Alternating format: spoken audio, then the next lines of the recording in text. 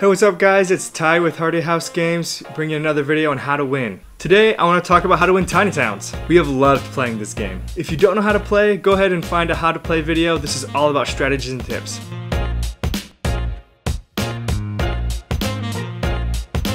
The number one tip I can give you about this game can be put into five words.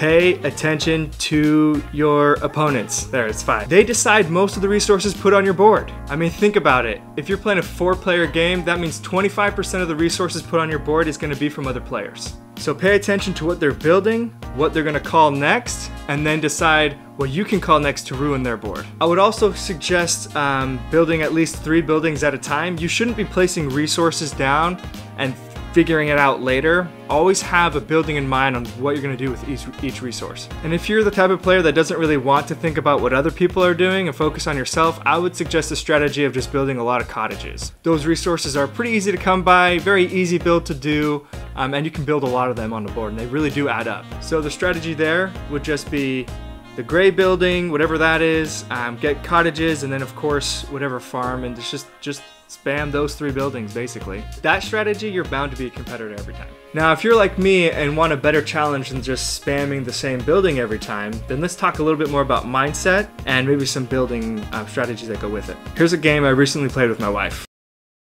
Alright, so this is the game I recently played. Um, I really like this strategy. It was really fun. Just a good mindset to, to think about when you're playing a game. So these were the cards that we were given for that round. And I really like this trading post um, black building. You know, one point you may treat the building as a wild resource for future buildings. And so I decided to put them in the middle along with these with these uh, tailors and these help me build the tailors of course. So these tailors are a point plus one for each tailor in the four center squares of your town so if they're in the center that's going to get more points. But what was really cool is I was able to use these black um, trading posts to make my buildings around it and of course that tailors. So I started off making um, this one and then I made some tailors and I made the other black one. What this does is I kept claiming a lot of gray colors and I let the opponent make a lot of cottages with these other colors, um, but by me claiming all these grays, they filled in my other resources. So I made them get a lot of gray and it forced them to build some other stuff, some sheds, maybe um, a couple chapels. This forces people to hate you because you're building a lot of grays. But then as I had these trading posts on the outside, I started building cottages and I could build this one with that. You know, I didn't need this, this was just to fill space, but I filled there and then I could fill there and then I could use these resources are these trading posts to get those resources and of course help build the um, the orchard too. What's also awesome is at the end of the game I had this corner over here but because of this trading post I was able to fill in some buildings and this gave me more points and this right here the chapel one for each fed cottage and anyway this was just a really cool uh, cool build because of all the ways I was just kept claiming grays and I kept turning the opponent and um, yeah, and look, I didn't even build a monument for this one. At this point, you're probably wondering, what about the purple cards? So let's talk about them. First of all, you don't need to build one to win.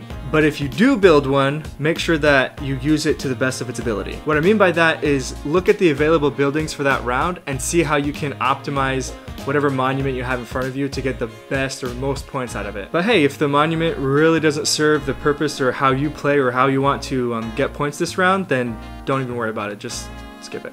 But these are my favorite purple cards to use, monument cards. The first is Statue of Bondmaker. Basically what it allows you to do is make it so that if somebody calls a color that you don't want, you can put it under one of your cottages. So if you're using that basic strategy, you'll be able to use this guy a lot. It's I also like Grove University. So this is worth three points by itself and it gives you an additional building of your choosing. Architects Guild. This one I really enjoy using because I can change strategy um, throughout the game. It basically takes two of your existing buildings and you can build something else in, in replace of it. I always build the wells or the fountains and then I replace those two with really high value buildings in the game.